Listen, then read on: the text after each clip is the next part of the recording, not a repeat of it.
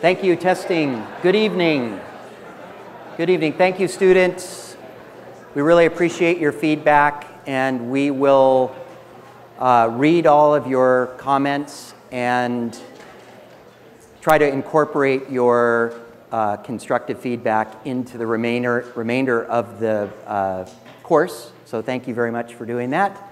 Um, you'll remember this is a technology-free zone, just it's the courtesy to our speakers. We ask you to put away your screens for the next hour and a half or so.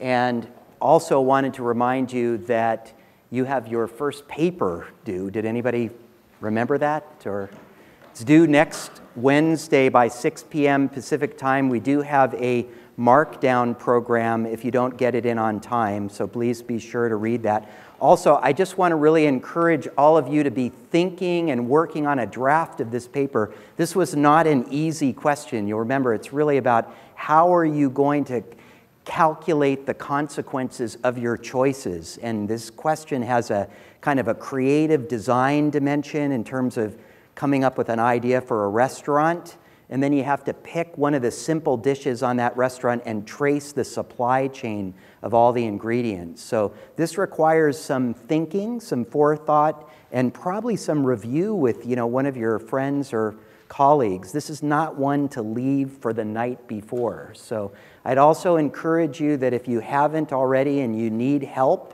to reach out to myself or one of the readers or the GSI in the course. They're very happy to help you but you got to give them a heads up that you want a 15 or 20 minutes of their time. Okay, and not the day before, but you've got still a week to go. All right?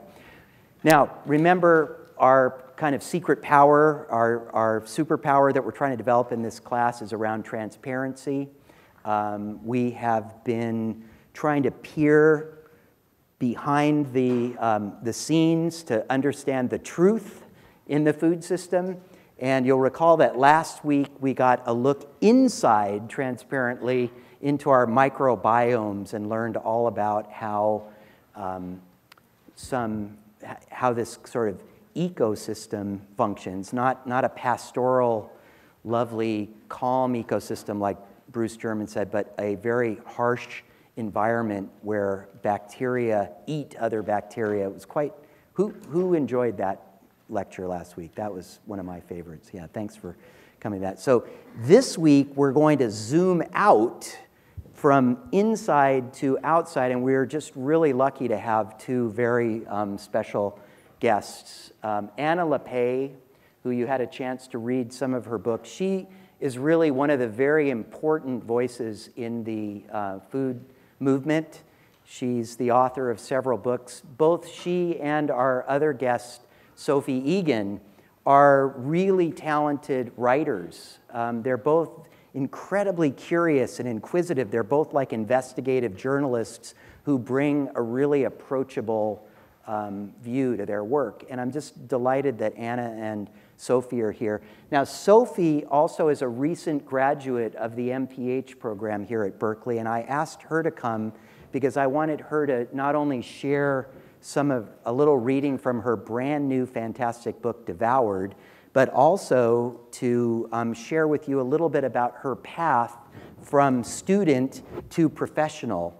And what I hope you'll get out of that, and you'll, you'll hear from other Berkeley alumni with varied backgrounds during the class, is how do I take my education and how do I take my, you know, my personal interests and passions and how do I manifest that into some kind of employment.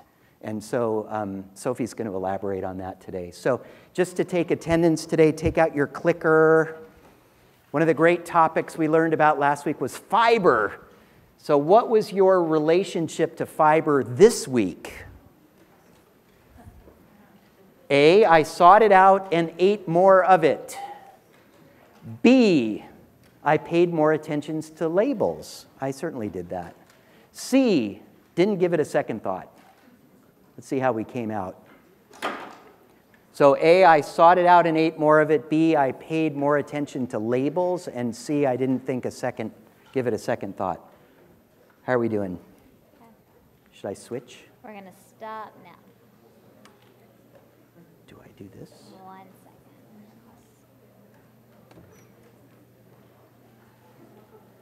Okay. Wow, that's pretty good. So, over half of you actually ate more fiber intentionally. I think Christopher Gardner would be really happy to hear that. We'll have to send him that result. All right, let's do one more question just for my sake. Uh, the modern biotechnology industry adheres to, this comes from one of Anna's readings. The modern biotechnology industry adheres to A, a set of strict regulations, B, a central dogma developed by Francis Crick, or C, a rigorous commitment to testing products before commercial release. Who wagers a guess on this one? Or who did the reading? Let's see. Please vote with your clicker. What? Uh huh. A little slower. Guessing, people are guessing, people are looking at their neighbors. Little cheating going on. There's a little changes here, back and forth. People can't decide. Five more seconds. Okay, I'm going to switch so you can see how fluid this answer is. Whoop, where'd it go? Aha. I guess we can't control when we stop the poll, huh? Okay, well, the right answer is B, the central dogma that was discussed in Anna's chapter was talking about how the biotechnology industry projects that everything is predictable in their work, and I'm sure you're going to hear more from her on that. So, quickly, just um, to finish up, to refresh everybody's mind and also to show those of you that are joining us for the first time. And by the way, we have a whole contingent from Denmark here tonight. Can just wave. They've come all the way to Denmark to go to edible education, so this is for their benefit. The first week, Alice Waters talked about food values and particularly slow food values and the rights of us to have um, food. Second week was David Mas Masumoto, a third generation farmer who really talked to us about the joy of farming and the collaborative effort of farming. That was followed by Professor Robert Reich, who really talked about concentration of power in the food industry and where um, economic power and, uh, and, um, and policy power kind of come together in, in a way that creates a lot of um, inequality. Naomi Starkman, the founder of uh, Civil Eats, was here to talk to us about the importance of a free press. We've seen this whole class kind of play out in real time. Saru Jayaraman was here talking about labor issues in food, and the next week we saw the proposed nominee for the Secretary of Labor sort of kicked out of that process. She was very happy about that. Then last week we got introduced to the microbiome. We had the three musketeers of microbiota Bruce and Christopher and Justin, and we ended up with the good gut. So that brings us to today, our very special guest. Oh, I'm sorry. I'm going to do this now. Next week, because I don't get to do this at the end, we are going to have a food and tech showcase. We're actually going to have six speakers from really amazing early stage companies. Three of them are Berkeley alums. And so it's going to be a virtual tasting menu of what's happening in food and technology. So be here for next week. And now, without further ado, it's a really great honor to welcome our next speaker, somebody who I just have enormous respect for. And I have to say, I haven't told Anna this, but I met her mother, Frances Moore Lappé, who wrote really one of this very, very important seminal books in this whole, at the beginning of this food movement, Diet for a Small Planet. And I think I met her in 1990, and she was very kind and incredibly smart. And um, I learned from her, and I think you'll also learn from Anna, that there is a way to be active and persuasive in this world that is not um, alienating, that is not divisive, but is um, based in facts and based in education and based in persistence. So without further ado, please welcome Anna Lappé.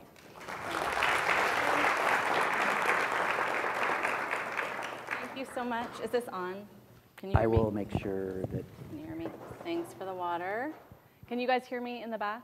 Is this loud enough? You can hear me. I see one thumb up, so I'm going to assume you can all hear me. Doesn't sound very loud. Here, I'm, I'm yeah. pushing this louder. Is that louder? Let's see. You can move this up a little bit. Sorry, you can see we didn't sound check this before. Is that any Yes. better? That's good. Yeah? Yeah. Okay, good. I am also losing my voice a little bit, so if you can even go up I'll a go up. tad. Yeah. Okay, great. Well, thank you so much. It is such a huge pleasure to be back here. I've spoken to some of the edible education classes in the past, and UC Berkeley has a special place in my heart. I, I went to Brown University, but I spent my last semester here at UC Berkeley, and I loved it, so it is really fun to be back. Um, how's that for sound levels? Yeah, okay, great. Um, great. And the clicker, I've got it. Great. So um, I, um, what, I, what we're going to talk about today, as I arrange things here, hang on a second. So, what we're going to talk about today is this really big question how we're going to feed the future. Experts have been debating this question for a long time, and both national, international policymakers have been basing their decisions based on, on these debates. Uh, so I don't presume with such a huge question that I am going to come anywhere close to answering that question for all of us tonight. But what I tried to do as I thought about what I wanted to share with all of you is to give you some ideas about how we might approach this question, where solutions might lie, and, and hopefully really provoke some thinking and provoke some questions. And, and we'll have some time for conversation at the end, so even provoke some debate. Um, but first, I wanted to just tell you a little bit about how I found myself here.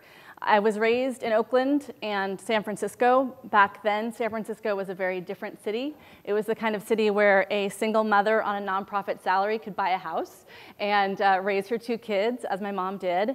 And we moved to San Francisco when I was really young. And when we moved there, my mother, who Will was just referring to, Frances Moore Lappé, started an organization called the Institute for Food and Development Policy. It's uh, also known as Food First and it is still four decades later, uh, still around and still really asking these questions about how do we feed the world and um, why myths about world hunger persist. So, in many ways, I have been hearing people debate this question for a long time. As a kid, uh, my childhood was um, maybe, as some of you might imagine, uh, knowing a little bit about my mother. You know, she was not uh, taking us off to Disneyland. Instead, my vacations were visiting factory farms in California, uh, farm worker encampments in the Midwest, or going with her on research trips to Central America. And uh, you know, in the evenings, instead of watching TV, in fact, for most of my childhood, our TV was kept in a closet. Um, we, instead of watching TV, I spent uh, evenings uh, stuffing envelopes for fundraisers for her nonprofit. So this was way before there was email fundraising drives, uh, or listening to her and her colleagues kind of debate big issues about world hunger. And you know, I'll admit there was a, definitely a big part of me as a kid that longed for you know just watching whatever was on television and being able to talk about it at school the next day or you know playing with barbie which i also never got to do uh, or eating actual chocolate. My mom was really into carob which was big in the 1970s i don't know if it's still i mean you know this argument that it tastes like chocolate it never did. Um, so you know there was a part of me that missed a lot of that but there was also this huge part of me as a kid that i really i really loved to be part of what felt like so energizing felt like so much bigger than just my family and myself. And, um, and I really, really loved that about my childhood. And so as time went on, I went to college. As I, as I said, I went to Brown, and then I went to New York City. And in my early 20s, I really found myself a bit adrift. I was trying to figure out uh, what, what it would look like for myself to plug into something bigger than just my own life. You know, what it would look like to really try to make a difference. And and to be honest, I really wasn't coming up with any answers. So, like many 20 somethings struggling with that question, I um, decided to try graduate school. I thought I might discover some of those answers and find, find my way by going to graduate school. So, I went to Columbia in their economic and political development program. I was studying globalization and trade policy. And uh, one evening, I was reading the New York Times, and I read this tiny little article that mentioned that there was going to be a World Trade Organization meeting in Seattle, and uh, that there was going to be uh, some local groups that were organizing some teach ins and even some protests uh, because those advocates that were organizing those protests and teach-ins were saying that the policies of this World Trade Organization would take away the ability for local communities and states and nations uh, to be able to do things like protect farmers, protect local food, uh, to be able to preserve really strict environmental regulations, and so much more. So that very night, after reading that article, I decided I really wanted to be there, to be there for this teach-in and for this little protest I was reading about. So I cobbled together some frequent flyer miles, bought a ticket, found a friend of a friend uh, whose couch I could crash on. And the next thing I knew, uh, I was standing in the middle of downtown Seattle. I had gone all by myself, but I was not alone. There were tens of thousands of people in the streets of Seattle.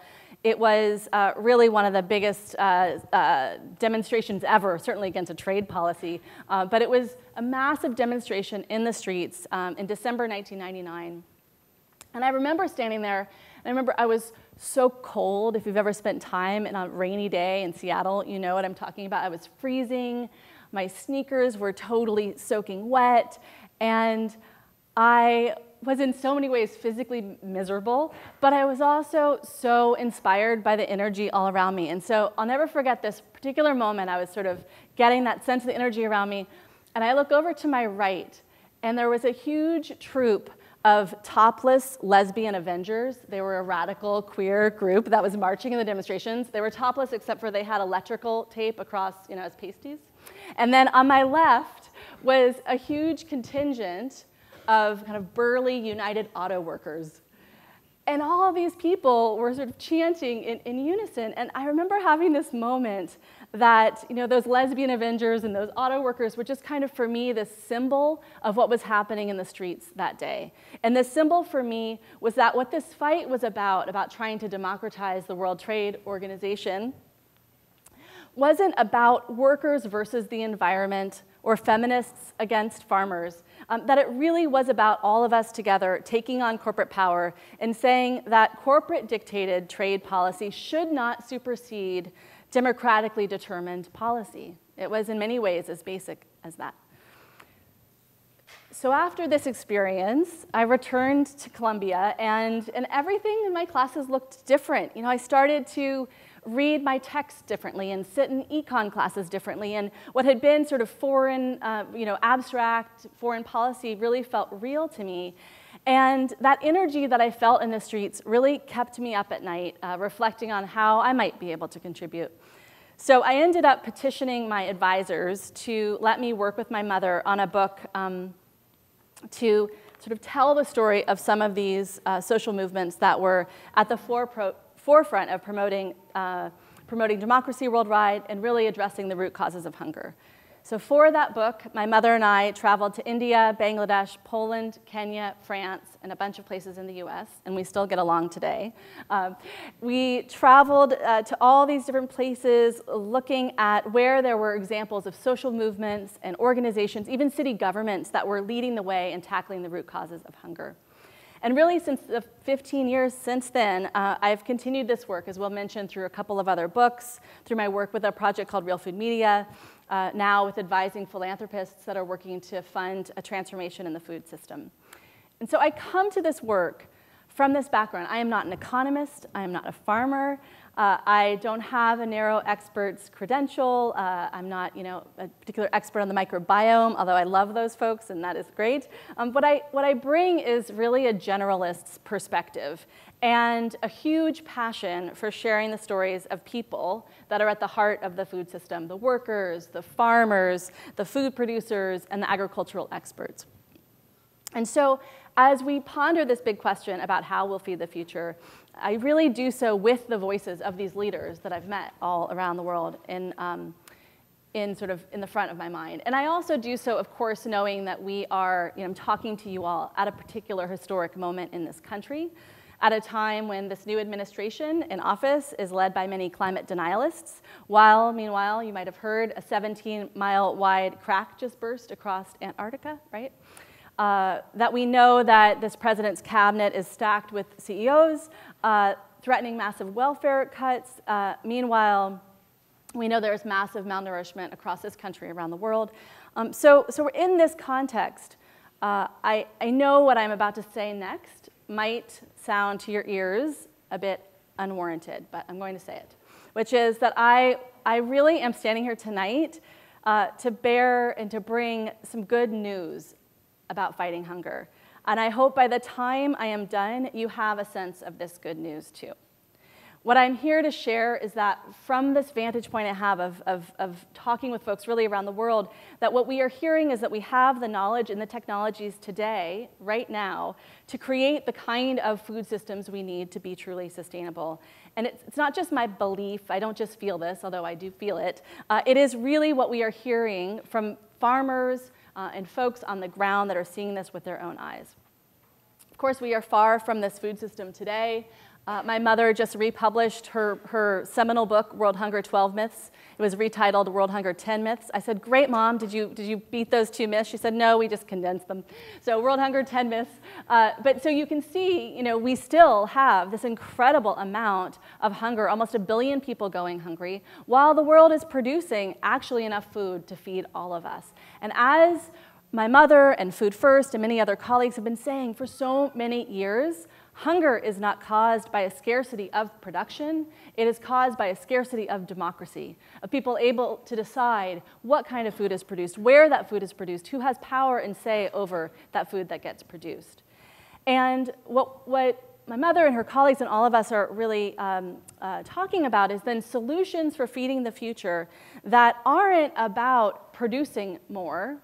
For if it was just a production question, we should have no hunger on the planet today.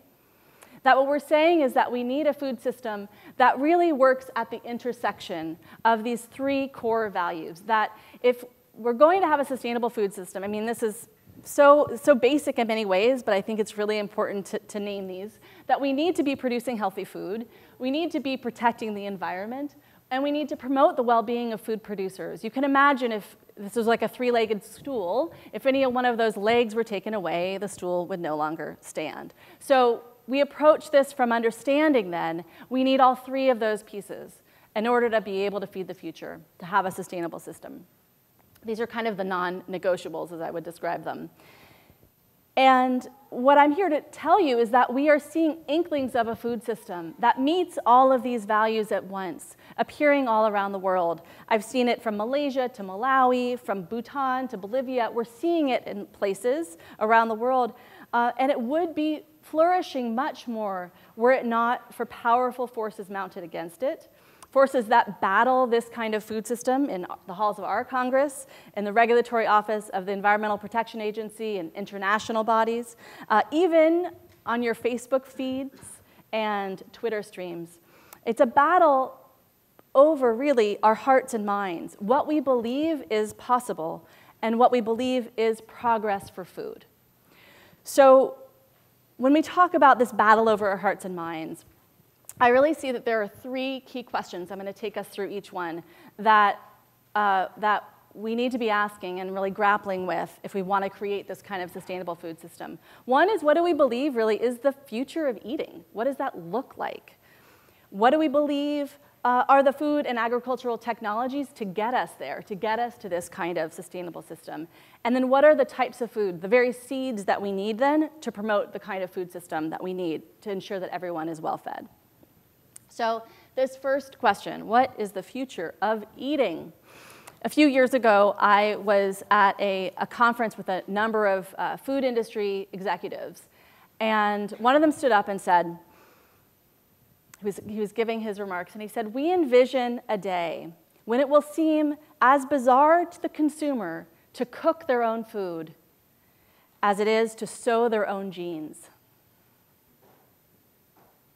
And it really stuck with me, that comment, that that's the vision for some food industry executives, clearly not all of them, uh, but that's the vision for the future of eating for them.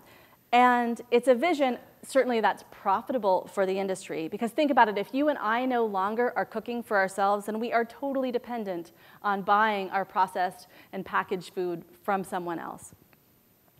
And it's certainly the direction we've been heading. Here in the United States, I was uh, talking recently with a colleague who's te a teacher at an elementary school in Vermont, and she was talking about grade schoolers who were coming to her and she had to teach them how to use a fork and a spoon and a knife. Because think about it, if you have a Pop Tart for breakfast and a slice of pizza for lunch and a hamburger for dinner, you have not used a single utensil. A few months ago, I was invited to attend uh, a session on the future of food at the headquarters of Airbnb in San Francisco. And it was hosted by a bunch of people who are futurists. I didn't realize that was a profession. It is. Uh, so they're futurists for big brands. You're in business school, so maybe this is like, you know, you guys are all futurists. Uh, but they were brought these experts together to kind of brainstorm, you know, what is the future of food. And in this futurist uh, lexicon, maybe you know this, they talk about signals. And so, what are the signals? What are the signs that they're seeing about what are some trends that they're seeing? And so, one of the signals that they mentioned was Soylent. And again, I know I'm speaking in a business school, so you might even have some investors of Soylent here. So, uh, I, you know, I'm aware of that. Uh, so, uh, Soylent, have you all heard of it? I'm seeing some nodding. Okay, so Soylent uh, is presented by its investors, by its makers, as a way to disrupt eating, to kind of improve the food system through innovation. Innovative, I don't know, about, I don't know, for me, I'm not so sure. I actually got a bottle of it just because I was like, I should try this. I should really try it. And I smelled it, I couldn't even try it. Uh, but when you look at the ingredients of Soylent, I notice it's actually only eight eight ingredients different from Ensure, which is like the meal replacement that's been on the market forever. You know, I'm not so sure that this is innovation, and yet we look at on the right that's, you know, food. That's food, and I, and I think it's a question I have, is the future of food might just be food. It might be actually eating real food and not being dependent on a manufacturer to make uh, a product like Soylent. So the second question to be asking is this question about the, the what does the future of farming look like? And, and here, this is my, this is my, ma my mashup for this question. My pictures are a little pixelated, but on the right, that's chili. And on the left, it's a Dow chemical product called chlorpyrifos, which um, is known by, in this case, Lorsban is one of the brand, uh, its brand names. Uh, they're both essentially insecticides. So we hear from the chemical industry that something like chlorpyrifos is what we need to feed the future. We hear from uh, chemical companies like Syngenta uh, saying comments like, and if you read the chapter, you heard me quote a Syngenta executive saying that organic farming, not using those kinds of chemicals, is a waste of agricultural land when the world needs more crop output. Now, industry groups argue that the technologies of industrial farming, like these agricultural chemicals, are also not that harmful. We don't have to really worry about them. It's what we hear from companies themselves and from their trade groups, groups like CropLife America, which used to be known as the National Association of Chemical Manufacturers, until probably they got some really smart business school students to rebrand them as CropLife. But so what, what does CropLife tell us? It tells us we don't really need to worry about these chemicals. They don't really cause any harm. Um, but we have actually known for decades that toxic pesticides are at the heart, that are at the heart of industrial agriculture, have huge impact. They have impact on farmland worldwide. Uh, they have impact on ecosystems worldwide. We know, for instance, that a lot of the pesticides that are used in agriculture, only a tiny fraction of them are actually uh, taken up by uh, and uh, actually used on the farm itself, but that traces of these chemicals can now be found in waterways and oceans, soils and grasses, from rainforests in South America to uh, the Arctic ice. We know from some studies done right here at the University of California at Berkeley, we now have long-term studies looking at farm workers and their families that show that communities that are exposed to agricultural pesticides have higher rates of, uh, of um, ADHD and autism. Children have developmental delays. We know from major studies uh, that have been done of agricultural communities uh, nationwide that farmers and pesticide applicators have higher rates of Parkinson's disease and uh, certain cancers, other illnesses. So we know these things. And in particular, chlorpyrifos, a widely used insecticide, it's been around since 1965. And yet we have known for decades that it doesn't just hurt the insects it's meant to kill, but that it, it affects humans too. And in fact, in the early 2000s, uh, we banned this pesticide uh, from most home use precisely because researchers found it alarming from home. I wonder if our friends from Denmark, you, you know, chances are your country doesn't allow this to be used on your farms. Uh, the EPA now has evidence that this insecticide causes neuro neurodevelopmental effects in fetuses and children. Um, they include the kinds of things I mentioned, uh, lower IQ, attention problems, increased risk of autism spectrum disorder. But despite this evidence, this insecticide is still used worldwide in about 100 countries. And in the United States, it's still used very widely. Six million pounds of the chemical are used every year on over 50 crops. And it's looking like this new administration, with this new EPA head, won't take steps to ban it anytime soon. Okay, so in this matchup between chlorpyrifos on one side and chili on the other, let's turn to chili. So a few years ago, I attended the biannual meeting of the International Federation of Organic Agricultural Movements, kind of a mouthful of an association name. Uh, their acronym is IFOAM, which is not also a great acronym, uh, but it is uh, a group of, uh, of representatives of uh, farming communities and organic agricultural specialists. And I heard report after report of studies showing natural insecticides, natural alternatives to this thing that we know is harmful. Uh, one of the examples I heard was about chili. Uh, and there was one research talked, researcher talked about his work with West African farmers whose fields had been decimated by pests. And his team discovered that some of the chilies that were native to the region were a natural repellent for those particular pests. They tried an experiment, growing some chilies on the perimeter of the field, crushing that chili into a spray, using it on the crops. Guess what? It worked. It worked, and no one had to worry that maybe their children would become sick. Maybe they would get cancer. Maybe they would have an acute uh, bout of pesticide poisoning. It worked. We're hearing examples like this all around the world. I just saw a, a study recently um, out of East Africa by a group locally, the Oakland Institute, that reported on a farmer network there using natural practices, again, to deal with pests. Uh, there, the practice uh, that's widely used in other parts of the world is called the push-pull uh, system. So it's pretty simple. Farmers plant fodder and wild grasses alongside the crops that they uh, want to protect, and pests uh, are, are pulled toward these decoy crops. And uh, in the case of these farmers in East Africa, the pests ignored their corn crop and instead went for those decoys. The results in this particular study 96,000 farmers in the network were benefiting enormously. Corn yields in the region shot up nearly threefold, and farmers were saving on costly inputs. So these are some of the qualities on the right of this kind of natural way of farming. Agroecological principles are called, or organic farming practices. What we're seeing worldwide are efforts to promote uh, this kind of knowledge-intensive farming, to look at uh, how to promote biodiversity, integrating trees, for instance, into the farms, to promote open pollinated seeds, encourage saving and sharing seeds, uh, to foster resilience in the face of drought and flood, uh, and to do all of this thing with less energy use, less water, and no pesticides. So I imagine uh, if you're with me so far, you'd say, okay, those benefits sound pretty positive.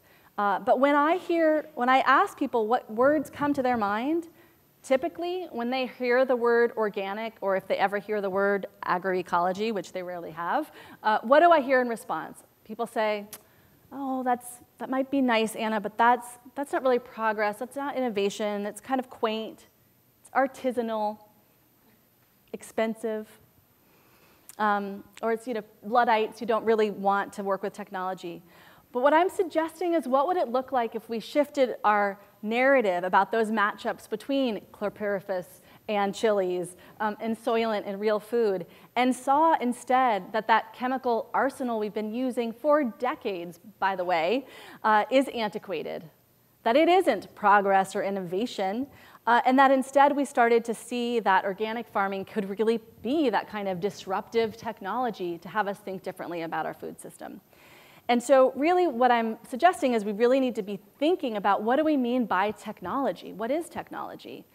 And I think many people assume that the technologies that we see taking hold uh, flourish, expand, because they are the best. They are the most efficient. That's why they're kind of winning in the marketplace. By this logic, then, chemical agriculture is winning in the marketplace because it must be better than organic practices. Chemical agriculture must persist because farmers aren't making the alternatives work. What I'm suggesting is that there's a different story about technology and that there are always forces behind a technology's introduction and its success. And these forces are not neutral. One of the best writers on this subject uh, is a theorist named Langdon Winner. And he wrote a book uh, called The Whale and the Reactor. And he puts it this way Technologies, he says, embody specific forms of power and authority. He writes, there is an ongoing social process in which scientific knowledge, technological innovation, and corporate profit reinforce each other in deeply entrenched patterns, patterns that bear the unmistakable stamp of political and economic power.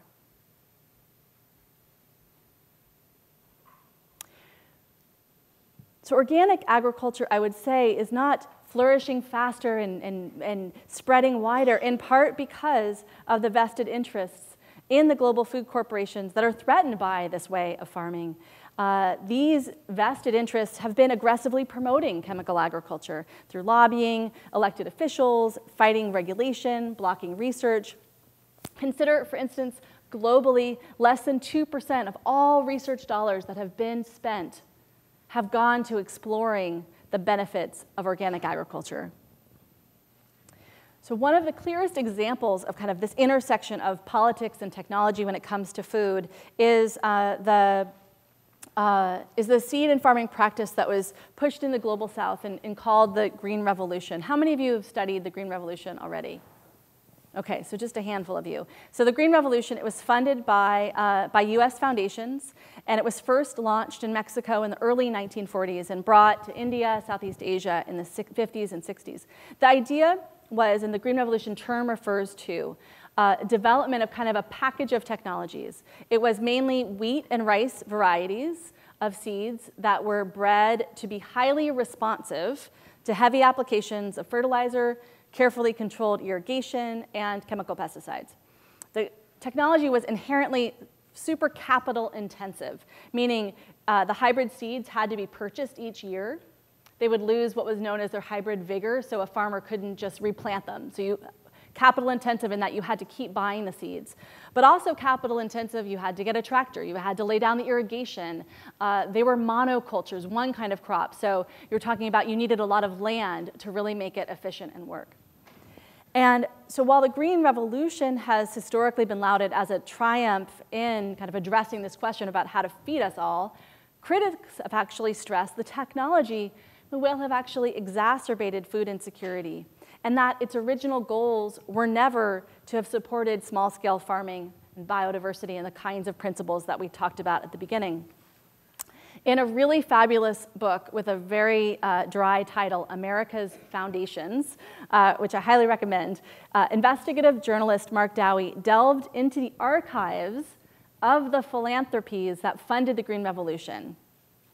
And what he argues in this book, looking at the archives, is that the motivation behind this technology was geopolitical. The program built the power of large landowners, undermining the peasant and socialist movements that were mobilizing during that period in Mexico, in India, the Philippines. It was seen by funders as a way to stabilize these regions in the face of the Red Revolution, of communism, and the White Revolution with the rise of the Shah of Iran, thus the Green Revolution. And so while the Green Revolution technologies increased yields for those farmers who implemented the practices, uh, what we saw was uh, that there was an incredible increase in fertilizer use, there was incredible increase in capital deployed. Uh, what's not graphed here is the increase, uh, this, the top line is fertilizer. What's not graphed is the increase in chemicals. Uh, we also saw many farmers were indebted. Uh, we saw increased foreign dependency, depleted water tables, the topsoils in a lot of these regions was destroyed. Um, one of the things I found really fascinating in Mark Dowie's book is he, again, goes into the archives and he found a handwritten letter from a University of California geographer to the Rockefeller Foundation in 1944 about the Green Revolution. And in that document, this geographer said, basically warned against this plan to move forward with this technology. And he said, aggressive agronomists and plant breeders could ruin the native resources for good and all, for good and all by pushing their commercial stocks. Mexican agriculture cannot be pointed towards standardization on a few commercial types without upsetting native economy and culture hopelessly. Unless the Americans understand that, they'd better keep out of this country entirely. This thing must be approached from an appreciation of the native that the native economies are basically sound. Now, instead of heeding these warnings, the funders brought the Green Revolution to other countries around the world. Uh, and one of the places that they brought this Green Revolution to, these technologies to, was the Punjab in, in India. And so when my mother and I were writing our book, that was one of the places that we went to see, in part, the impact of the Green Revolution, but to also see the emergence of organic agriculture. And we were drawn there to meet with farmers who were supposed to be the poster children of this technology at work. And I'll never forget this day we spent hearing testimony from Sikh farmers, just in the most beautifully colored turbans um, and beautifully colored clothing, talking to us about what they had experienced. They talked about this package that they were told would help feed them and feed the future, the hybrid seeds, the fertilizer, the irrigation, the chemicals. And then they talked about what had happened in their region. We talked about um, how their water tables had been decimated, how their soil had been so damaged, about how farmers had become so indebted to this capital intensive way of farming. Uh, they told us about neighbors actually going who were so indebted and saw no hope for the future. They were actually going into their fields and drinking the very pesticides that had so indebted them to commit suicide. At the end of one of these days of testimony, we actually uh, sort of retreated to a small hut that was, had a little bit of, of shade, and we were talking some more with these Sikh farmers that were telling us their story. It was an all-male group of farmers, and you know, in the beginning this conversation, to be honest, they were kind of looking at us suspiciously. We were foreigners, we were women, um, but they were, they were sharing with us what they were experiencing and this attempt to, to really try to think differently about how they were farming. We got to a question about trade policy, and I actually, I think, offhandedly mentioned that I had been at those WTO demonstrations in Seattle. I didn't mention the, the lesbian, the topless lesbian Avengers. Uh, and one of, as soon as I said that, the farmers kind of all kind of shifted how they were looking at me. And one of the farmers, his face kind of brightened up and he said, You were there? And I said, You know, yeah, I, I was in those streets. And he said, You know, when we saw that news, it was the first time we ever knew that there were people in your country who actually cared about what was happening in other parts of the world. And you know, I think back at my you know, moment of epiphany in those streets of Seattle, and to be honest, even then I kind of secretly wondered what difference was this all making, really? All this marching in the streets and the banner hang and all of that. Uh, I never really thought that I would learn about one of those ways in which that demonstration was making a difference, you know, sitting in that hut in the Punjab. So to really listen to these farmers is to see that these technologies, these agroecological technologies, are progress, and they're the solutions that we need to be investing in. So the next question, the next big question then, I think, so we're thinking about, you know, what does this future look like, is what is the future of seeds? I've got one more match, mashup for us, and that is this. On the left, we have a bag of genetically engineered seeds. On the right, we have a seed exchange in Latin America of uh, many, many varieties of corn. So what are we hearing about how we're going to feed the future? On the one hand, one of the stories we hear is this innovation of this new technology, genetic engineering. Uh, it was approved in this country in 1982. By 1999, here in the United States, we had about 100 million acres of farmland dedicated to GMOs. Uh, to date, uh, really the, one of the biggest producers of GMOs uh, uh, is Monsanto. There are a couple other companies, but it's a highly consolidated industry. And what's important to keep in mind about what we've seen in terms of innovation in this area is to understand it's really been about engineering for just a couple of traits uh, or, or layering on those traits. So it's, it's one or the other or, or multiple. And what do those traits do? In the one hand, one type of trait that's been engineered is to engineer some seeds that, uh, with a gene from a soil bacterium, causing the seeds to produce a protein toxic, toxic to certain insects. Uh, and then the other type of trait that we have seen is seeds that are engineered to be herbicide resistant. Uh, and in the case of Monsanto's product, resistant to Roundup, otherwise known as glyphosate. In other words, if you plant with that genetically engineered seed that has that trait of resistance, you can spray glyphosate. You'll kill the weeds, hopefully, uh, but you won't hurt your crop. So we hear from the industry that's been pushing these seeds that one of the reasons why they've been promoting them is that this is the key to the future. We need this genetic engineering. Uh, what's important to remember again is there have just been a handful of traits that have been widely commercialized. What's also important to remember is if you look at what seeds are being engineered, they're not food we are eating directly, at least. Uh, in 2013, for instance, Monsanto, uh, when you look at their seed sales, 87% of their seed sales just came from corn, soybeans, and cotton. Uh, but also, we hear from them that these seeds, we need them because what are the other arguments for them? They're going to produce more. They're going to yield more and therefore have a smaller footprint. Well, when you look at the yield record so far, now we actually have a lot of yield record in this country of what have we seen. It's pretty underwhelming. Uh, when you look at uh, what the industry says, uh, companies like Monsanto argue, for corn, for instance, that from 1996 to 2008, corn yields shot up 28%. That's one of their claims. But really, when you look at the data, it's a case of confusing correlation with causation. What I mean by that is, yes, in this country, yields did go up. They went up for a lot of crops.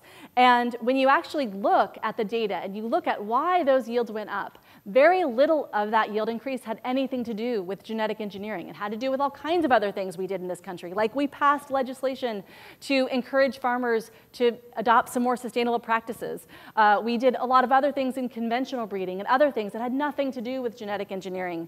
One study that tried to put a number on it uh, argues that uh, the yield increase that you can attribute to genetic engineering was just uh, 4% over that time.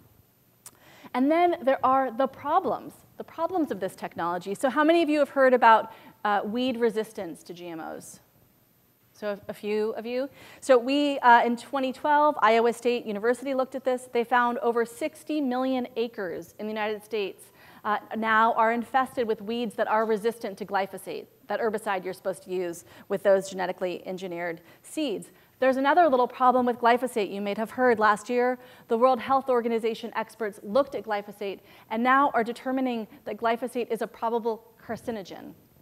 And when you look at this data from, this is from the Center for Food Safety, you can see what has the introduction of genetically engineered seeds done. It's encouraged farmers to spray glyphosate. They don't have to worry, it's not going to hurt their crop. So there's been a real increase in glyphosate uh, use. This slide takes us to 2012, but you can see when these glyphosate essentially resistant corn and soybeans were introduced and how much more glyphosate we've been using. Okay, so I've got this mashup. So what about non-genetically engineered seeds? You know, are they actually, you know, is this sort of the only alternative because non-genetically engineered, engineered seeds aren't going to help us? Um, well, what we, what we know from the evidence, again, what we are seeing is when we're looking at evidence from around the world of farmers that are adopting agroecological practices and using seeds that many times you can save seeds and share seeds and re reuse seeds.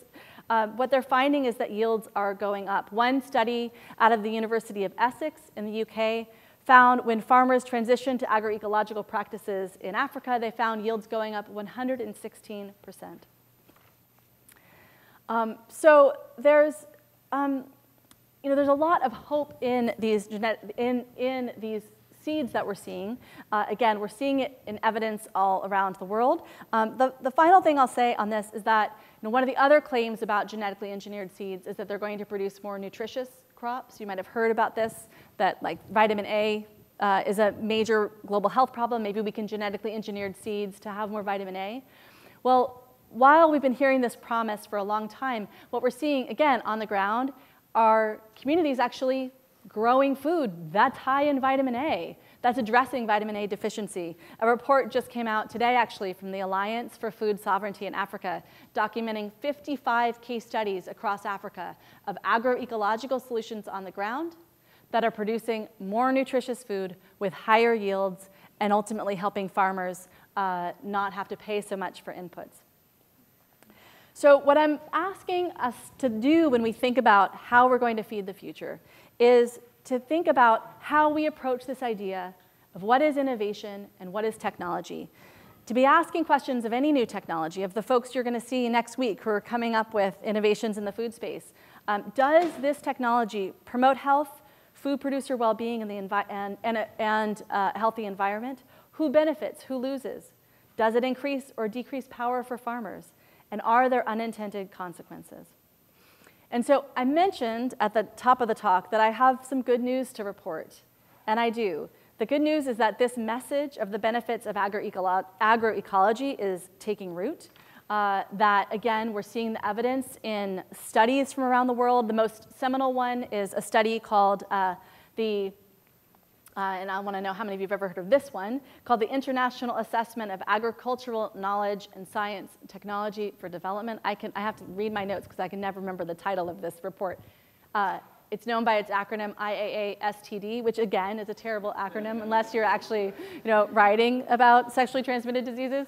Has anybody ever heard of the ISTAD report?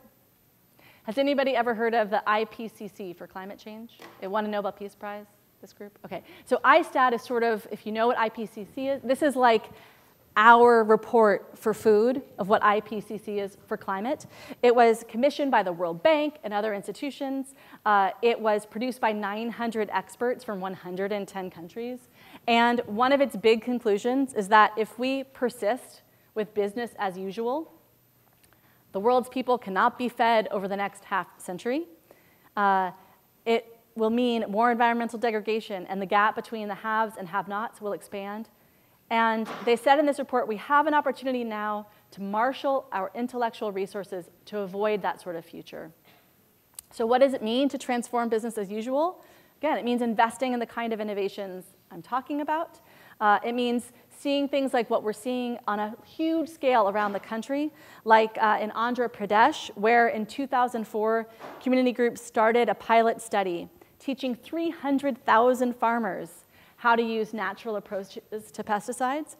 Uh, they were taught these natural alternatives and, in the, and replace these natural alternatives with toxic insecticides.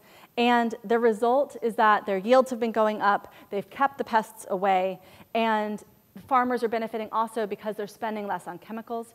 Today, that program in Andhra Pradesh has expanded to roughly 1 million farmers across 1 million hectares in the state.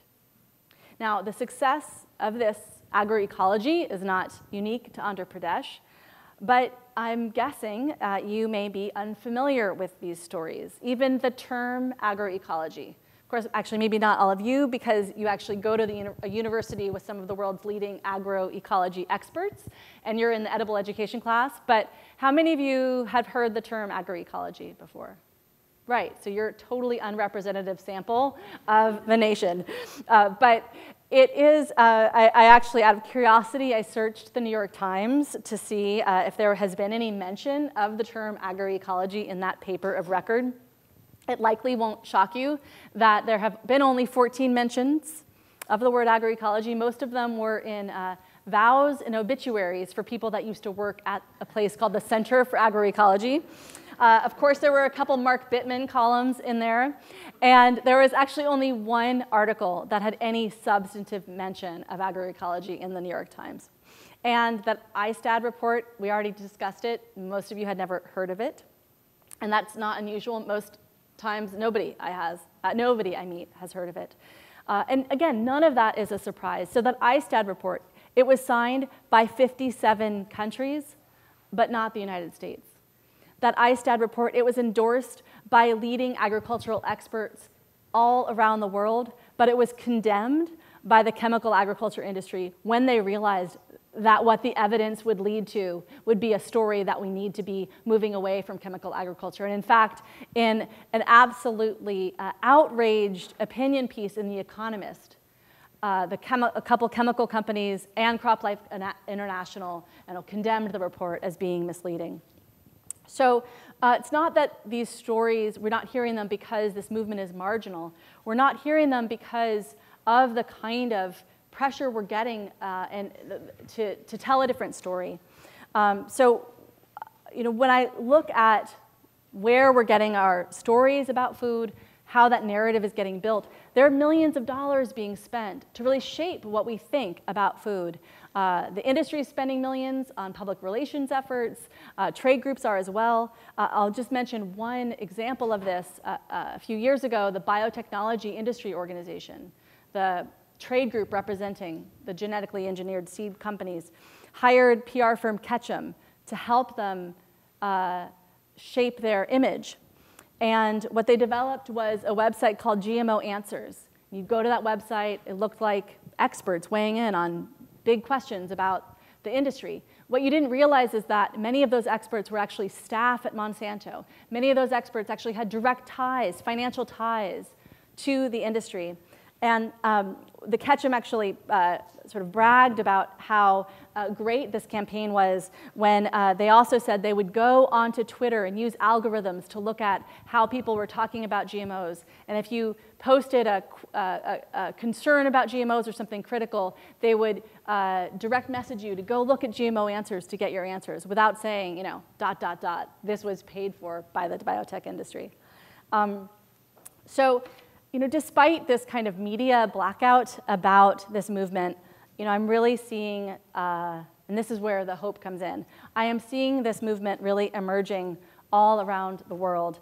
Um, when I was in Istanbul with IFOAM, um, when I was in Istanbul, I was hearing these amazing stories of the spread of agroecology globally, hearing about groups like La Via Campesina, which was founded in 1993 and now counts 164 local and national organizations from 73 countries, representing 200 million farmers. When I was in Istanbul, I met people like Gabriela Sota from Costa Rica, who described the excitement among 5,000 farmers there, realizing the greater productivity and lower costs because of agroecology. I met Makareta Tawa from Fiji, who described the movement in her island nation to go 100% organic. I met people after people that were really sharing these stories. Um, and what I was hearing was this message. And I'm hearing the other piece of hope I'm here to say is that this message we are not hearing only in the halls of the organic farming movement uh, summits, we're hearing it in mainstream media too. Um, so, this quote many people will tell you organic food is just for rich people, that it's not an economical way to approach agriculture, that it can't feed the world. Well, guess what? None of that's true. And you know where I heard that? It wasn't in one of my mother's books. It was actually on CNBC with this guy, Jim Cramer, you know, the investor. So, you know, I think when Jim Cramer starts sounding like the Institute for Food and Development Policy, I think maybe we're starting to mainstream this message uh, a little bit. Um, so, you know, in closing, what I want to say is I think when we are pondering these big questions about how we're going to feed the future, that to do so, we must work on kind of busting our mythologies about technology, really looking at the consolidated power that pushes one form of technology over another, and build the kind of people power that I saw in those Seattle streets. And, and what, I'm, what I'm seeing and what is so encouraging is that people all around the world are doing just that, that they are calling for a new direction, one that braces agroecology at its heart. So as I was thinking about this talk, um, I was actually uh, last week in Raleigh, North Carolina, at the inaugural summit of a new alliance of food movement organizations here in the United States. It's called HEAL Food Alliance for uh, the acronym Health, Environment, Agriculture, and Labor. And it brings together groups working on all of those different issues. There were nearly 100 of us from across the country. The, uh, the youngest person was 15. The oldest was 75. There were Somali farmers from Minnesota, black farmers from the South, organizers from the Central Valley here in California. There were Latinos and Muslim Americans, South Asian, white, and black. And, and I couldn't help but contrast that experience with that gathering among the futurists at Airbnb headquarters. And I couldn't help but feel in a way that that Heal Food Alliance summit was my signal of the future. That to me, those people in that room really represent the kind of diversity of movements that are fighting for a future of food, that has producers at the center, including all of those who labor across the food chain, uh, a kind of food system that promotes a healthy environment and that has all of us fed, not an industrially produ produced concoction, uh, but fed on real, healthy, and delicious food. So when I lie awake in bed at night, uh, worried about the future of food, I need only think of the people I saw in Istanbul, the voices that I have heard around the world promoting agroecology, and the faces in that 100 person large circle at a hotel on the outskirts of Raleigh to remember where the real answers lie. Thank you.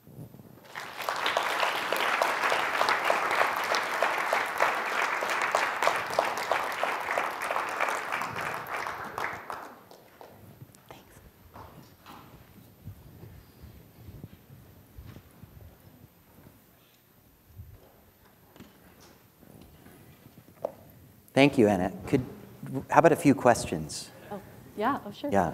Um, let me, I've got some written down here. I don't know if you got to see them. Come sit over here, have a glass of water. Have a Kishu Mandarin courtesy of Alice Waters. Um, thank you so much. That was really compelling. I'm, I feel grateful that you're out tracking signals. Mm-hmm. And um, I think for this class, it's so important for us to um, be able to know which signals to pay attention to, and then also to begin to understand how our actions either can, you know, reinforce a, sim, uh, a signal uh, unknowingly, or how we can actually intentionally amplify the signals of the things that we care about to get to that three-legged stool of, mm-hmm. of, of, sustainable health and well-being. Yeah. Um, Jason Block, are you here tonight, Jason? Where are you, Jason? Okay, you're busted. anyway, you, you wrote a really good question. So Jason um, wrote, how do you personally discern truth and fiction mm. with regards to food? And is there ever a time that you switched your opinion on your journey for yeah. food truth? That is a great question, especially in this age of um, fake, fake news, right? And alternative, alternative facts. facts. Oh my God. um, so how? Uh, you know, I think um, I am a just a naturally curious person, and I constantly ask questions. And one of the things that I have really tried, oh, you can't hear me? That I've tried to do is constantly question my own assumptions. I think we all need to do that. And so part of the way I do that is um, talking to people who I might not necessarily agree with. Is this you know, ability to change that. But uh, I would walk into work. Coming in from. We have a problem. I've had that happen before. We'll keep, yeah. we'll keep going. Okay, can you hear me now? Yeah. yeah okay, great. Okay. So, um, so how do I tell? So, the, okay, a couple things. Um, number one, uh, always, whenever you read something, dig. Who said it? Do they have a conflict of interest? What can you know about them? Um, you know, I think one of the things my colleagues and I did a report a couple years ago called Spinning Food, and it was about essentially this whole universe, uh, hundreds of millions of dollars universe that was being spent to create essentially fake organizations, front groups. So organizations that sound like they are working for public interest, but they're actually funded by chemical agriculture or, you know, or corporate interests. So groups like the Coalition for Safe and Affordable Food you might think you could go to them and they might help you understand what would be safe food.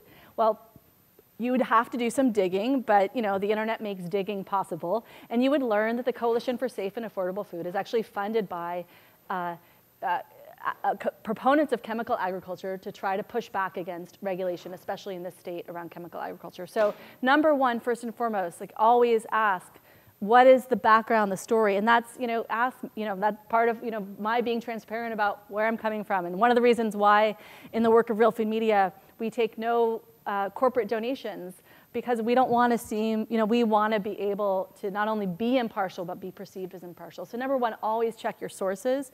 And number two, always ask, you know, continue to ask questions. Uh, you know, one of my, uh, I had a sort of big moment going to see the, the father of the Green Revolution, Norman Borlaug, speak at, at Columbia University.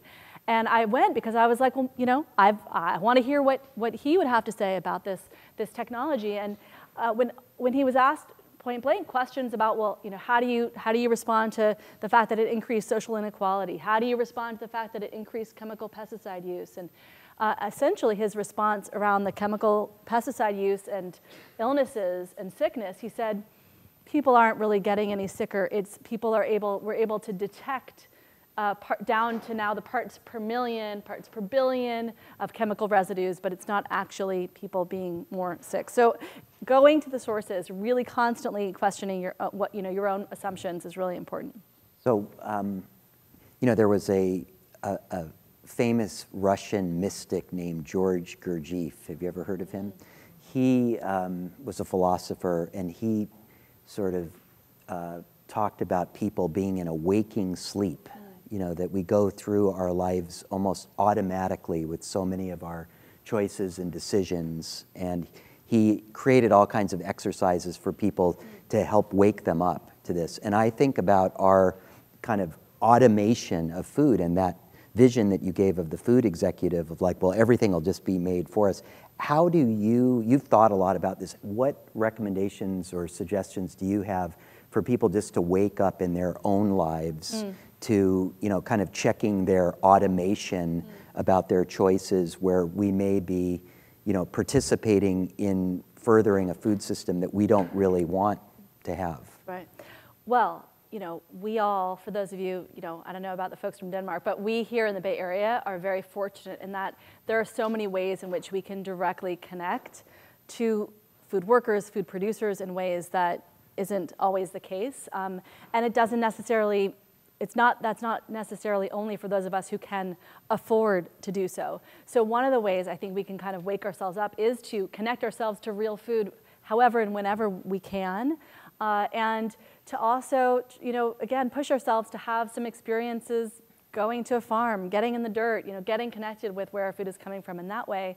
You know, we're getting involved. There's a lot of opportunities locally to get involved with also food preparation. There's a wonderful group called the People's Kitchen Collective that does huge communal free meals. Uh, and it's a fabulous way, again, to connect to, to, to each other, but also to real food, to preparing food. Uh, so those are, are some of the things that um, and Real Food Media would give us a lot more And Real Food Media is a way to get connected to us and to find out about some of those resources. You'll be happy to know that next week, one of the readings is called The Future of Food is Food, oh. which was written by Steve Case there in Recode. And then there's actually a reading that I wrote next week, which talks about um, how two former Berkeley students started Revolution Foods. To feed um, school children. And then the third reading is really from the MIT Technology Review, which gives a overview of all the technologies that are coming, you know, into the right. world of food for right. And, yeah. and what I hope was clear from, I hope, you know, was clear from the talk is that I'm absolutely not anti-technology, right?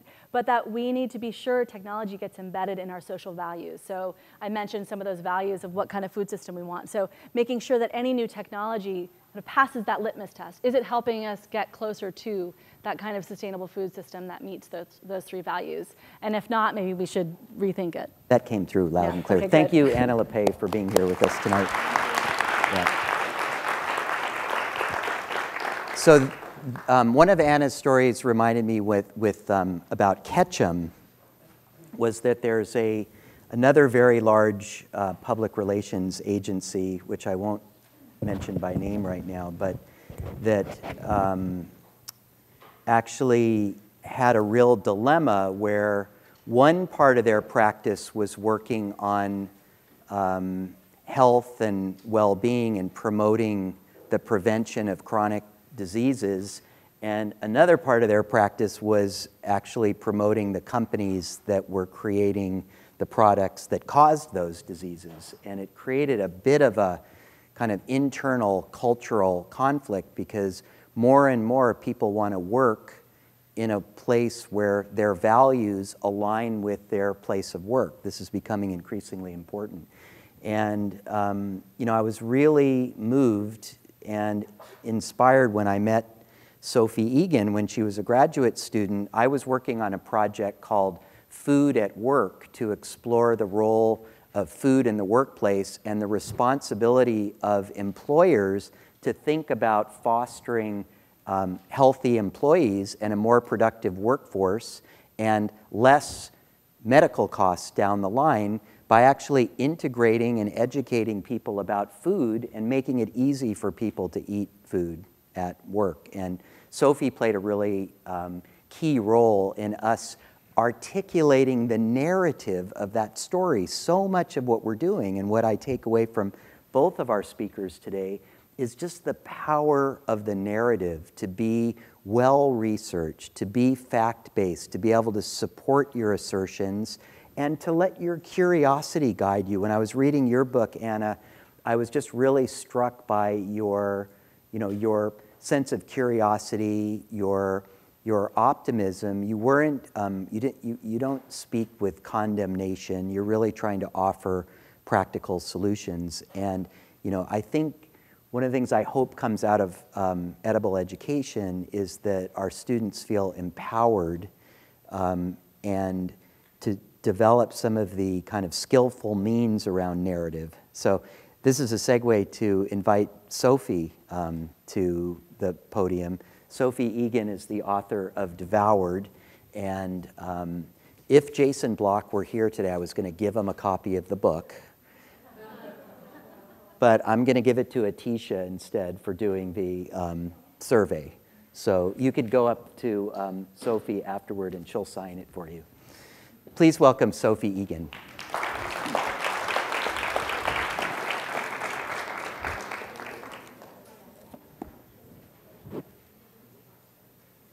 Test, test, test. No, test. Can you hear me? No. More fun with microphones. Can anyone in the back hear? Yes, awesome. Okay, I, that doesn't sound great. All right, I think we're all situated here. Clicker, water. Yes, good evening, everyone. You can hear me. Okay, Anna knows how this goes. Um, it is a huge honor to be here tonight um, among, well, really on the roster of this incredible food course um, with some of my all-time food heroes, I have to say. Um, the people who come here are honestly living legends. Um, so it's, it's a tremendous honor, and thank you so much, Will, for the invitation to speak.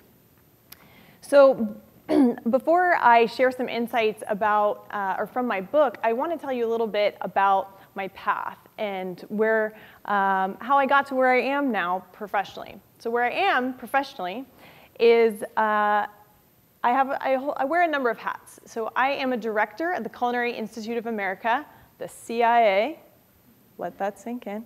Um, I oversee all of our food service industry thought leadership initiatives related to health and sustainability. So we provide culinary strategies for making menus better for human and environmental health. Then on the side, I'm also a writer. I contribute to the New York Times health section, and I have written this book, Devoured. So my, my path is rather unconventional, and uh, I, my story has a lot of similar um, aspects with, the, with those of Anna's, where it took me a while to, to figure out how to plug in. Uh, so in college, I studied history and math. I got involved with food by managing a student dining hall. And I studied abroad in Bologna, which is the stomach of Italy. After college, I spent about three years as a food and travel writer for Sunset Magazine, which was a lot of fun, uh, but I really wanted to have a broader impact. So that's when I came to the UC Berkeley School of Public Health. I um, did the health and social behavior concentration, and I really took advantage of all the different departments and colleges on this campus, kind of cobbling together a food systems lens through which to view public health. I went over to the Goldman School and took food policy with Saru Jayaraman. I went to the journalism school and took food writing with Michael Pollan. I thought edible education was so engrossing that I took it twice. And during my time at Berkeley, there were three pivotal moments that have really shaped my trajectory. The first was during Michael Pollan's food writing class uh, when I wrote a story about stunt foods and Doritos Locos Tacos. This wound up being the cover story for Wired Magazine's first ever issue on food. And that eventually became one of the key chapters in my book, Devoured, which covers the broader topic of American food culture. The second key moment was actually the last semester that I was here at Berkeley, and I was taking Eat, Think, Design, which is an incredible interdisciplinary class, and that's when I met Will Rosenzweig.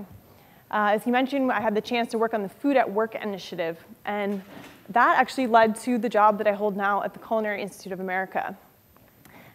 And in Will, I gained an incredible mentor. The last moment was actually just a couple weeks before graduation, again in that Eat Think Design class. And one of the instructors, uh, Jaspal Sandhu, I was telling him how I was really struggling with what I was going to do next. I didn't really consider myself a public health person per se, um, but I really wanted to have an impact on these, these kind of food issues that I cared so much about. And he looked at me and he said, You want to really make a difference? Go work at Walmart.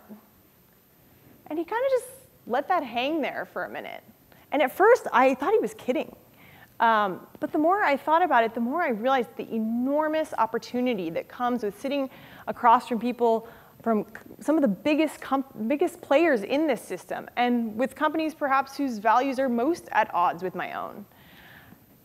Now, that's really what I love about my, my job at the Culinary Institute, where we take what my boss, Greg Drescher, calls a big tent approach. So I get to work with some of the most cutting edge companies, Google, you know, campus dining programs, remarkable K-12 school food programs. But I also work with the McDonald's and the Taco Bells of the world. Um, and these companies that feed millions of Americans every day, if we can get them to make very small changes to their menus, from phasing out antibiotic use in the meat supply to reducing default portion sizes, that can have an enormous impact on human and environmental health. So I am so grateful for the uh, exceptional educators um, who helped shape my, my path and, and, my career thus far. And I really just want to urge all of you um, to take advantage of the incredible people and incredible opportunities that exist on this campus.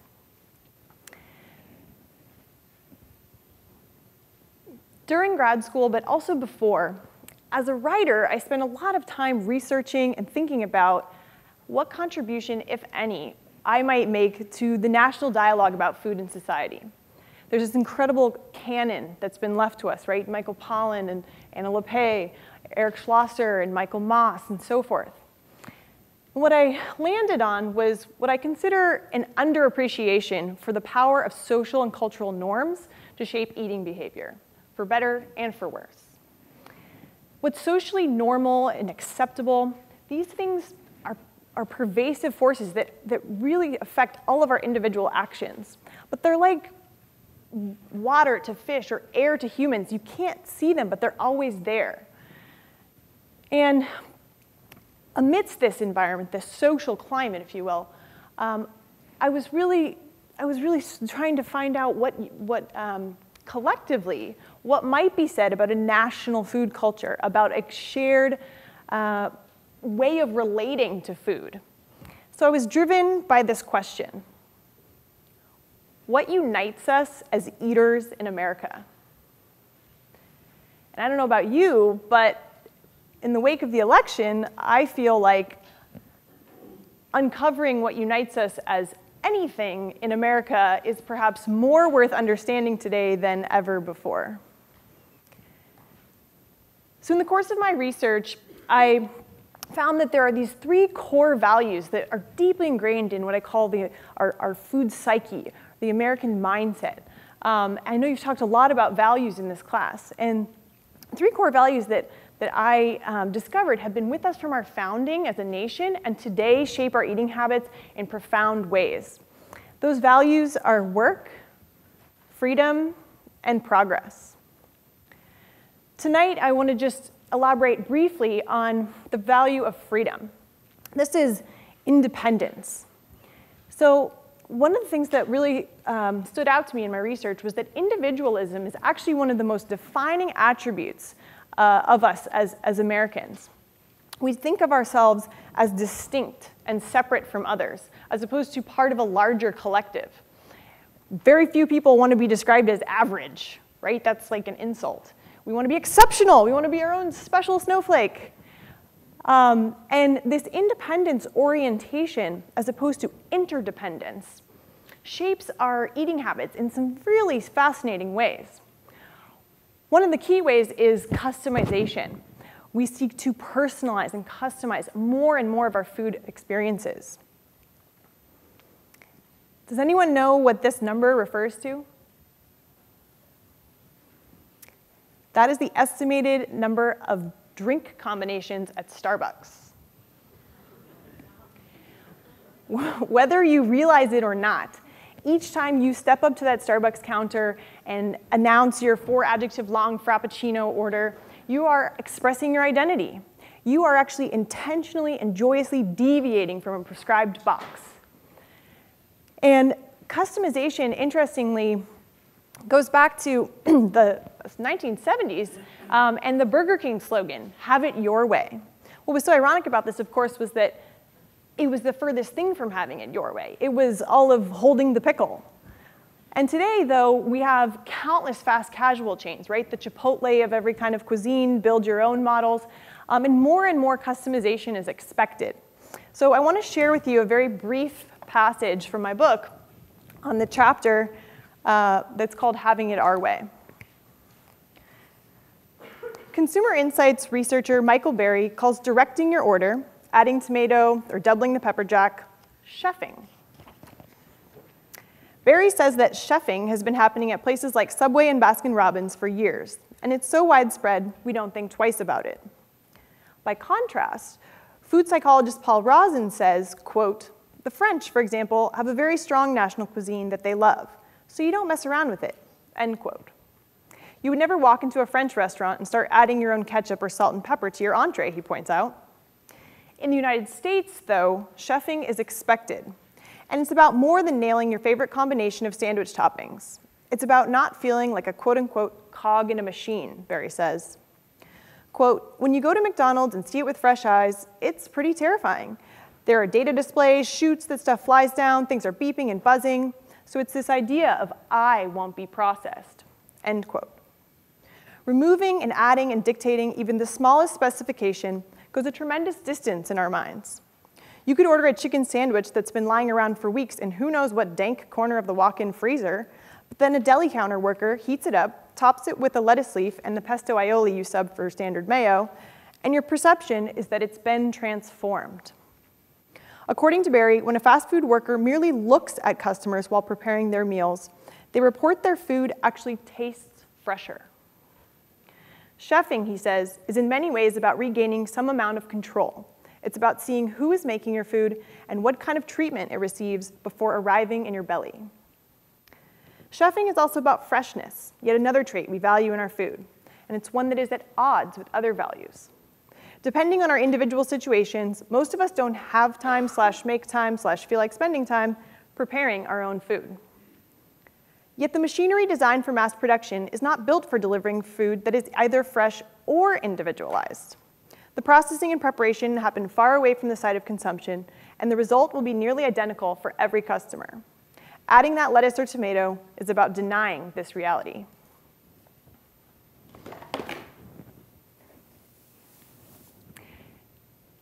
In addition to customization, what independence what our independence mindset does for us in terms of our eating habits is it leads us to eat by ourselves. Solo dining is actually at an all-time high, and this is coinciding with an all-time high of a, of a related condition, which is social isolation. And this deeply concerns me because if you look at the literature, the single greatest predictor of happiness is social connectedness. You heard Alice Waters talk about this, right? With the slow food value, how we're all interconnected. So this is a real problem. With that, I want to leave you with a challenge, and that is to meet at the table. Solo dining is driven by this in independence mindset, this right, you know, sense that it's our right to eat what we want, when we want, however much we want, with or not with whomever we want. But it's also driven by lack of time, or at least perceived lack of time. And one of those, one, one of the root causes of lack of time is overwork. In the United States, we place an incredible premium on productivity, and we're known around the world for our work ethic. But today we're actually even outworking ourselves by about 200 more hours per year compared with a generation or two ago. And we're taking the least, we're taking vacation at the lowest rate in 40 years. That doesn't leave a whole lot of time for, for food. And from childhood, we are imbued with this sense that food is fuel. It is the pit stop. It's to something that you should minimize to get on with your day to the things that truly matter in life. And think about elementary school right? I mean, kids get 15 minutes to wolf down a greasy slice of pizza. By the time they're in college, uh, I have dining directors I work with around the country who are telling me how they've designed these beautiful spaces for eating that, that are meant to foster mindfulness and de-stressing, only to see the grab-and-go items fly off the shelves. They can't keep up with demand for things that are portable and preferably one-handable. So you can, you know, scroll through your phone or like guide your bike with the, you know, one hand. in, in adulthood, this manifests in that national epidemic known as sad desk lunch. Raise your hand if you've used your keyboard as a placemat. We've all been there. And it's really this sense, as I mentioned, that food is, is not nearly as important as whatever else we have to do. So to overcome those kinds of situations, we're going to need systemic change, right? Policy change that allocates more time for school lunch, um, or great programs like Edible Schoolyard. We we are going to need cultural change at the institutional level, employers making it culturally normal to take a real lunch break so that you don't have to be the you know, salmon swimming upstream. But in the meantime, and to help us get there, there are individual actions that each of you can take um, that can really start to put food first. So, so a couple of easy examples brunch. Weekend brunch is one of those rare times that many of us push the pause button. Um, I have a chapter called Secular Church where I connect it to a decrease in, in the percentage of us who are affiliated with organized religion. And church really can become this, this place for community, a way of breaking bread and, and marking the passing of time. Um, during the week, uh, one of the greatest ideas I've heard is called a lunch bunch, where if you work in an office or maybe just even um, as a student, you and several friends or colleagues grab four, um, split up the five days of the week, and alternate cooking for each other and take a lunch break all together. You could have a, a supper club where you all uh, you know, get together and, and cook with friends and family. Because by the way, cooking is how you can actually have it your way. So together, collectively, these individual actions will start to take food issues from the outer rings of our societal, of our societal orbit and put them smack in the middle. Together, these, these steps you can take can help America revive something that it's lost, which is the art of commensality and conviviality. So as I mentioned, meet at the table. Now, the table part is negotiable. It could be a picnic blanket, I'm good with park benches, but it's the meeting that I must insist upon. Thank you for your time.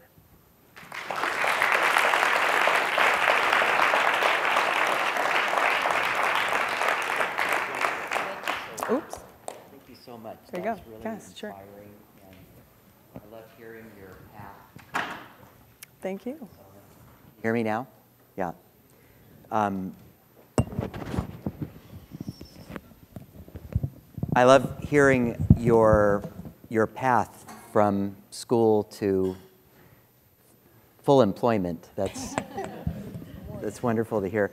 Um, I also wanted to thank um, Ryan Peterson, one of our members of the teaching team, he has constructed the first official Edible Education 101 Facebook page at UC Berkeley, Edible Education 101 at UC Berkeley.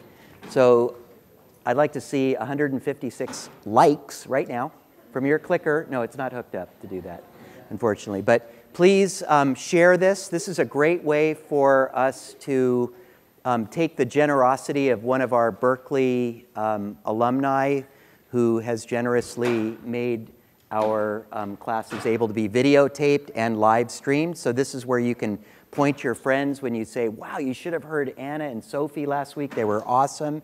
This is a way to help them um, connect easily to the recordings of the class. I'm going to stop just a few minutes early, so those of you that want to stay and that want to talk to Anna and Sophie can do so. And thanks for coming again tonight. Drive safely, get safely home, and see you next week with the food tech tasting menu.